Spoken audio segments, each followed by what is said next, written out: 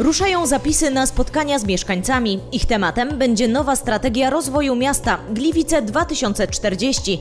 Pracę nad nią zainaugurowała poniedziałkowa konferencja prasowa Urzędu Miejskiego. W jej trakcie urzędnicy przedstawili harmonogram planowanych przez miasto działań. Te podzielone zostały na cztery etapy. Pierwszym z nich będzie sformułowanie wizji rozwoju miasta, do którego poza specjalistami miejskimi, prezesami czy pracownikami spółek oraz jednostek miejskich zaproszeni zostaną także gliwiczanie. Do tego etapu, czyli do uchwalania wizji, do przygotowania wizji, będziemy zapraszać również mieszkańców jako e, osoby, które chcielibyśmy, mamy taki, taki zamiar, aby dopowiedzieli nam e, pewne elementy związane z e, diagnozą miasta, czyli z tym, jak, jak według nich, jak według ich postrzegania w mieście się żyje, funkcjonuje, co jest istotne.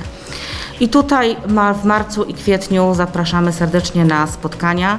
Te spotkania niestety odbędą się e, w wersji online, jako jedynej dostępnej w tej chwili e, wersji umożliwiającej spotkania i dyskusje. W marcu odbędzie się łącznie 7 spotkań dzielnicowych. Udział wezmą w nich mieszkańcy konkretnych dzielnic, które miasto połączyło w większe obszary. Pierwsze konsultacje odbędą się 4 marca i będą przeznaczone dla mieszkańców Łabęd i Czechowic. Po tych spotkaniach w kwietniu zaprosimy na kolejne spotkania, tym razem już tematyczne, a tematy y, będą wynikały z, y, zostaną zainspirowane praktycznie w naszych spotkaniach dzielnicowych. Szczegółowy harmonogram marcowych spotkań z mieszkańcami oraz formularze zgłoszeniowe dostępne są na nowo uruchomionej stronie internetowej www.strategia2040.gliwice.eu.